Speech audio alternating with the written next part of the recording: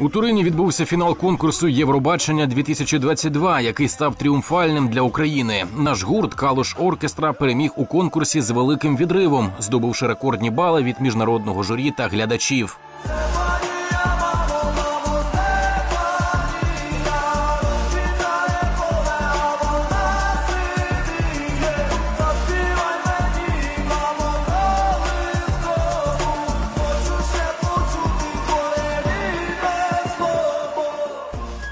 Криворіжці уважно слідкували за перебігом подій на конкурсі і такого завершення очікували. Поздравляю всю Украину. Ну, самое главное результат победа. Мы не, пер- не первый раз уже победители. Это стоило ожидать. Очень рад за, за то, что так получилось. Молодцы, умнички. Поздравляю их, поздравляю Украину. Она всегда будет побеждать. Там, там другие пускай отдыхают. Чи не більше за сам драйвовий виступ українцям сподобалася промова музикантів, яка в теорії могла завершитися дискваліфікацією.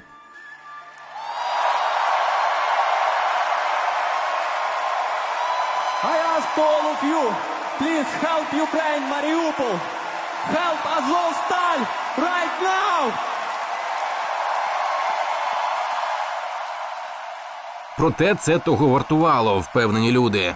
Враження надзвичайні, тому що Калуш це дуже відомий українська, український гурт, який я також слухаю.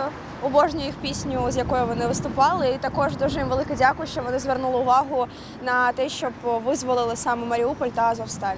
Перемога на музичному фронті символічна. Тепер люди в очікуванні іншої, важливішої звитяги, після якої можна буде поміркувати, яке місто прийме наступне Євробачення. И мы доказали всему миру, что все-таки весь мир за нас, и мы правы. И Украина – это действительно бренд на сегодняшний день. И это было офигенное выступление, мощная поддержка, энергия. Просто она била даже через экран. Это было очень круто. Класс, я очень довольна. Украина победит. Так что правда за нами. А поки ми всі співаємо, гурт переможець презентував кліп на пісню Стефанія. Робота відзнята в Бучі, Ірпені, Бородянці та Гостомелі. Якщо Стефанія тепер гімн нашої війни, я хотів би, щоб вона стала гімном нашої перемоги. Йдеться в дописі під піснею.